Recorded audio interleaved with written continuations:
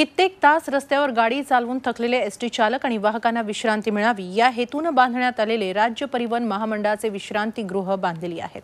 पण ठाणे जिल्ह्यातील खोपट येथील मध्यवर्ती एस टी आगारातील विश्रांतीगृह म्हणजे असुविधांचं माहेरघर झालंय. खोपटसारख्या ठाण्यातील विश्रांतीगृहाची जर ही अवस्था असेल तर राज्यातील इतर विश्रांतीगृहांची अवस्था विचारायलाच नको.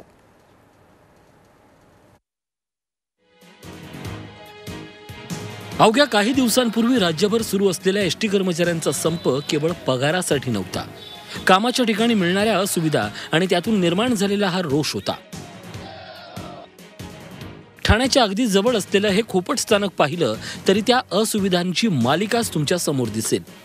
कित्येक तास रस्त्यावर गाडी चालवून थकलेल्या एस टी चालक आणि वाहकांना विश्रांती मिळावी या हेतूनं बांधण्यात आलेलं राज्य परिवहन महामंडळाचं ठाण्यातील हे विश्रांतीगृह म्हणजे अनेक असुविधांचं आगर आहे. खोपट येथील मध्यवर्ती एस टी आगारातील हे विश्रांतीगृह म्हणजे एस टी कर्मचाऱ्यांना सोसाव्या लागणाऱ्या यातनांचं प्रतीक आहे. गळक छप्पर अस्वच्छ शौचालय नादुरुस्त पंखे सोळापैकी अवघ्या तीन ट्यूब लागत असल्यानं इथे सदैव काळोखच पसरलेला असतो. या सर्व परिस्थितीमुळे सर्वच कामगार नाराज आहेत. अनेक वेळा तक्रारी करून सुद्धा कोणी प्रतिसाद देत नाहीत अशी खंत इथले कर्मचारी बोलून दाखवतायत. रेस्टरूमचे ज्याच्याकडे इन्चार्ज आहेत हे दोन नंबर डेपो रेस डेपोमध्ये हो त्यांचे ज्याकडे तक्रार सतत जात राहतात. पाणी सकाळी राहतं दुपार राहत नाही संध्याकाळ राहत नाही. रात्री दहा बारा एक वाजता पाणी येतं. कधी कधी संडास बाथरूममध्ये आम्हाला हातपाय धुवून नसतं तोंडावर पाणी फिरून ड्युटीला जावं लागतं. मच्छरांचा जे एवढा प्रॉब्लेम आहे आणि खटमल. कधी स्वच्छता होत नाही. वारंवार झाडू मारायला कधी दोन दिवसांनी चार दिवसांनी येतात.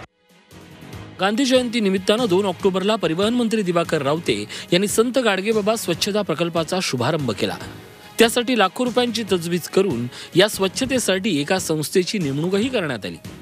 पण खोपटसारख्या विश्रांतीगृहांची अवस्था जर ही अशी असेल तर सगळेच घोडे केवळ कागदोपत्री नाचतात. या एस टी कामगारांच्या आरोपात चुकीचं ते काय आहे? Kapil Raut Zee media Thane.